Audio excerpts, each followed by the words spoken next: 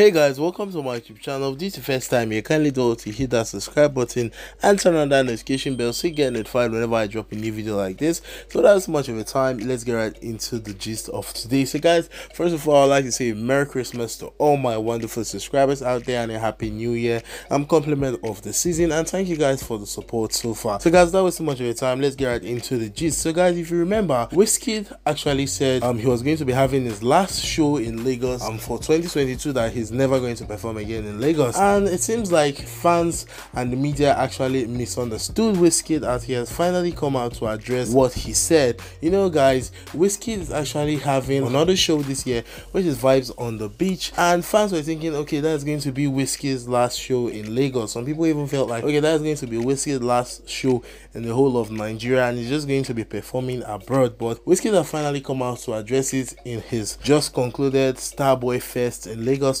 2022, which was sponsored by Flytime Fest, which is being funded by Flutterwave. For the finale of their show, Asake was the one who hosted um, the one yesterday, while Wizkid concluded the finale. So guys, I'm going to be playing the video footage right now, so you guys listen to what Wizkid actually said concerning um, him performing for the last time in Lagos.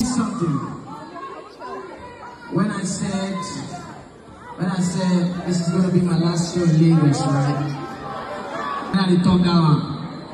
You say, right? Like say, I have to start finishing all my sentence when I start now because they will misquote me every day.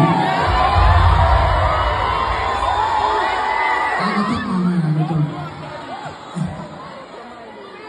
What I really meant was, with the kind of love that you guys show me, it is very unfair for me to do shows around the world and come back Yes, sir. Make you guys pay to watch me perform. So, I want to make a promise tonight. This is the last time you're ever going to pay to Yes, come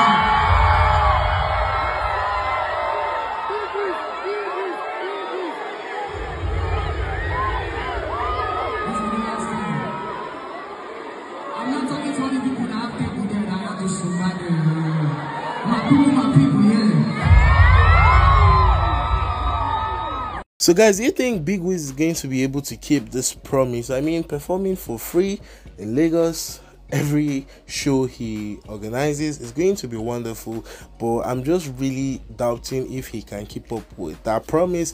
But you know, as the saying goes, time will tell. Maybe Wizkid might just decide to really keep to his word, and we're going to be seeing free shows from Wizkid in Lagos. So if you're in Lagos, just count yourself lucky. So guys, this is where I'm going to be signing out for now. I'll see you guys some other time. Make sure you keep my Christmas chicken and my New Year chicken. I'm going to come to you guys' house.